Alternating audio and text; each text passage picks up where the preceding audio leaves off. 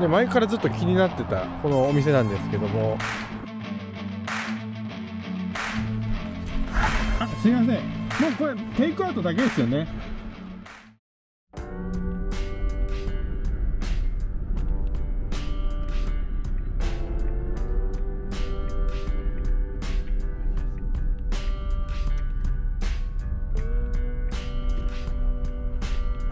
やってきました、えー名物醤油焼きネギ、えーたこ焼きみっちゃんっていうね、えーお店です。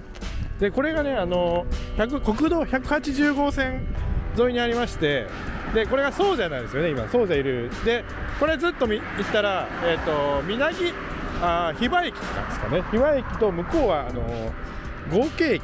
ちょうど中間地点ぐらいかな。そういう場所にあの今日はえーやってきました。で前からずっと気になってたこのお店なんですけどもイメージ的にはねお好み焼きじゃなくてあのたこ焼きなのかなとたこ焼き屋さんなのかなと思ったんですけどもあのねこういう感じであのお好み焼きとかをいただけるということで。すいません。もうこれテイクアウトだけですよね。あ中で食べれるんですか？あいいですか？じゃあ中で。中でねいただけるっていうことで。えー、っとじゃあここ入りましょう。あじゃあちょっと失礼します。うん。もう靴脱ぐ感じですよね。もうスリッパでっていうことですよね。あいえいえお願いします。はい。あもう全部はい。全部いきます。あはいありがとうございます。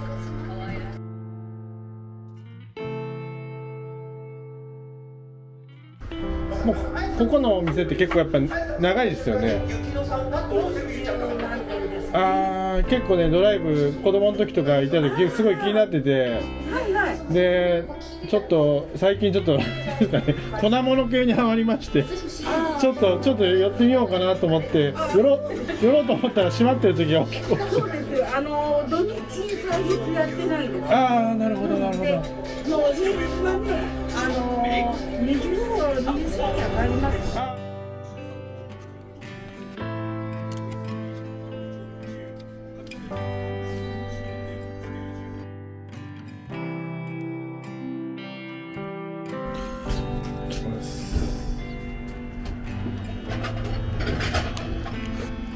確かに美味しいです。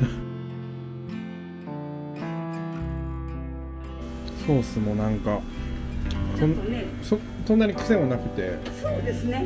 なんかちょうどいい。そうですね。子供から大人までいるんでね。うん。えちょっと美味しそうな。あいい香りがこれもたこ焼きと全く同じソースですかね。ブレンドソースってこれはそう。焼きそばはまた違います。あそうですね。ちょっと違いまあじゃあちょっといただきますうん。あ美味しい。なんかあのおふくろの味みたいな。は。そんな感じが懐かしかった。そうですか。うん。広島焼きというか広島スタイルのお好み焼きを家で作ってたんであの食べてたんで親の。だからすごいなんかリンクされて。そうですか。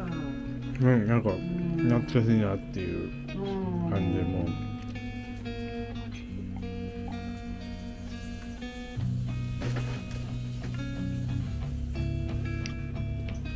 でもあの話があれなんですけどそれこそ4年前かぐらいのそのそうですね大大変だったんじゃないですか？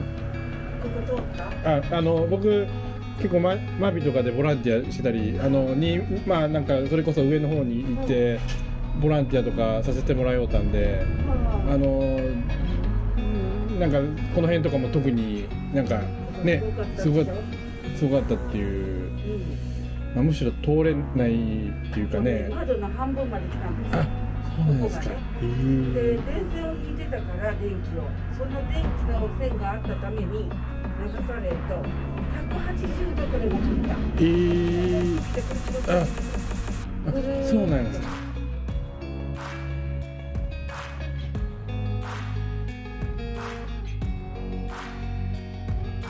あいいですよ。これにね式じゃないの？これがあのあありがとう。うん。2の食べ方というかまあ裏技みたいな。そうです。これでね食べて。これで一番最初は半分に割ってやけどするから必ずここ。あわかりました。ありがとうございます。ありがとうございます。じゃあ醤油。いや焼きね。じゃあちょっといきます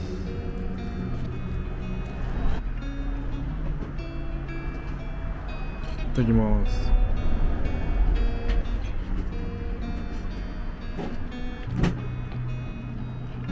うん。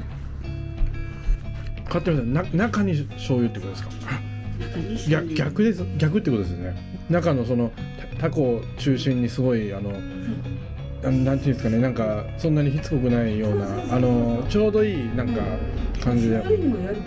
うん。でこの辛いのがまたあのなんかすごいいいでし刺激でいいから若い子とか、ょうんあのアクセントになる。うーん。だからどうしても癖になるとか言われるなだから僕も醤油焼きって聞いたら外になんかうん。その醤油あってちょんちょんってつけて食べるかなと思ったらあの中にこの醤油があってで外側にこのマヨネーズがあってあのなんていうんですかねなんかまたこれまた面白い、ねなんか。マヨネーズはサービス。よあないないあうん。おやつがてらにですね。あです。もうもう本当そそんな感じであの。お酒のつまみって言われるね。うん。でまあソースないんでベトベトするのが嫌いな人とか特に特に最近の若い子とかね。そうですね。うんあおふうん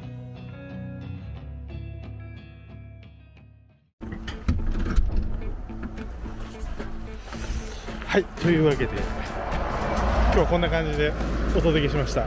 40年以上ね、えー前からある、えー老舗のこの粉物系のねお店でした。昔はキッチンカーだったそうです。興味ある方はねぜひ行ってみてください。おすすめの場所でございます、まあ、ただねその営業時間土日とか祝日はやってないそうです。で平日の朝の9時から、えーお昼の14時までということなのでまた皆さん合わせて来てください。ありがとうございました。